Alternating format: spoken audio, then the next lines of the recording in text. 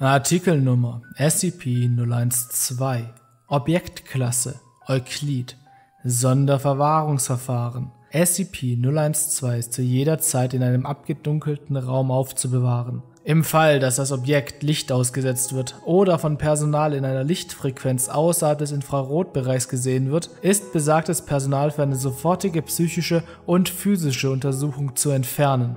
Das Objekt ist in einer mit Eisen abgeschirmten Kiste einzuschließen, welche in einem Mindestabstand von 2,5 Metern zum Boden, den Wänden und jeder möglichen Raumöffnung von der Decke hängt, zu befestigen ist.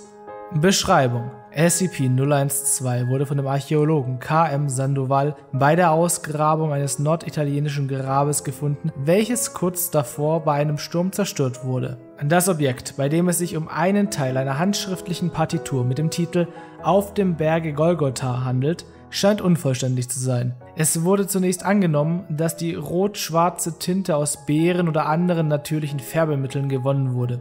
Es stellte sich jedoch später heraus, dass es sich um das Blut von mehreren Subjekten handelte. Unter den Mitarbeitern, die als erstes in der Lage waren, die Notenblätter zu lokalisieren, Sonderbergungsteam von Standort 19, verfielen zwei Mitglieder dem Wahnsinn und versucht mit ihrem eigenen Blut die Komposition zu vervollständigen. Dies führte schlussendlich zu massivem Blutverlust und inneren Traumata.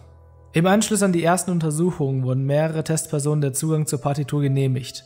In allen Fällen verstümmelten sich die Testpersonen selbst, um das Stück mit ihrem eigenen Blut zu vollenden. Dies führte zu Folgeerscheinungen einer Psychose und massivem Trauma. Diejenigen, die einen Teil des Stückes zu Ende bringen konnten, erklärten, dass es, Zitat, unmöglich sei, das Stück zu vollenden und begingen im Anschluss sofort Selbstmord. Bei Versuchen, die Musik fortzuspielen, ergab sich eine unangenehme Kakophonie, wobei jede Instrumentalstimme keine Korrelation oder Harmonie mit den anderen Instrumenten aufwies